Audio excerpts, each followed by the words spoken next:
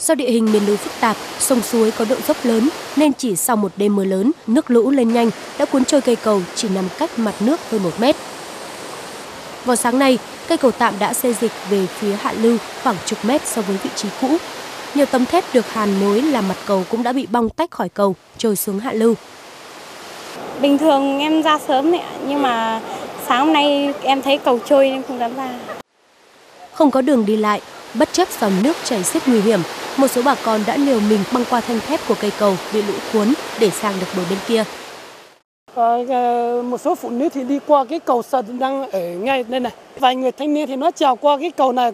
Mong là xem đảng nhà nước ờ, cố gắng sửa xong cái cầu cũ này để bà con đi lại cho nó an toàn tính mạng và đảm bảo cho các cháu còn đi học đi qua lại lại hai bên mà. Hiện chính quyền địa phương đang khẩn trương khắc phục sự cố trong thời gian sớm nhất. Trước mắt sẽ gia cố lại cây cầu cũ, giải tre đã đập dập lên trên để đi tạm. Trước đó, sáng ngày 24 tháng 2, cầu treo lớn tại bản Chu Và 6 đã bị đứt ắc neo và lật nghiêng khi nhiều người dân đưa tang qua cầu, làm 8 người chết và 36 người bị thương. Sau nhiều ngày bị cô lập, ngày 28 tháng 2, bà con đã đón cây cầu tạm mới để đi lại. Lúc đó, lãnh đạo tỉnh Lai Châu đã khẳng định sẽ hoàn thành việc khôi phục lại cầu treo Chu Va 6 chậm nhất trước tháng 4.